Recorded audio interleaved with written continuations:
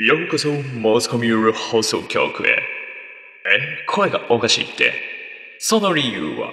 それは、彼が過去の私だからです。あ、ちょ、そこ、あの、意味わかんないとか言わない。ね、おじさんとの約束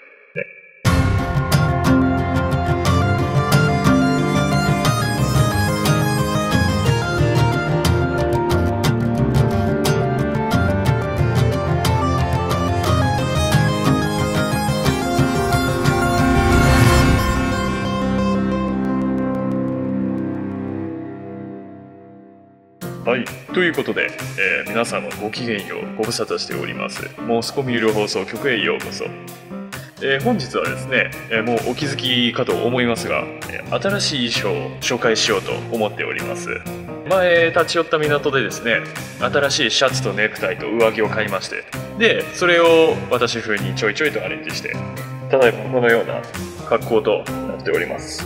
いや、どうでしょう？なかなかいいんじゃないでしょうか。で、おしゃれじゃないですか。で、ね、過去の私ですけれども、あーまあちょっとね、うん、これどう思いますか？上着、焼肉着てるように見えますよね。焼肉、焼肉ですよね、これ。ね、君、完全にあれだよね。焼肉着てということで、まあ、えー本日話したかったことはそれだけなんですけれども、ただいま、前の港を出てから1週間ほど海の上を飛んでいるんですけれども、もうすぐ新しい港に着くかと思われます。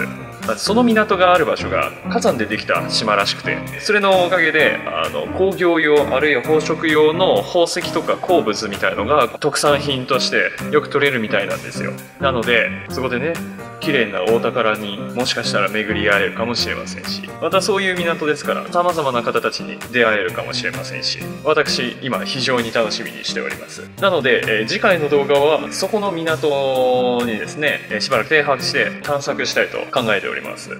それでは次回お会いしましょう。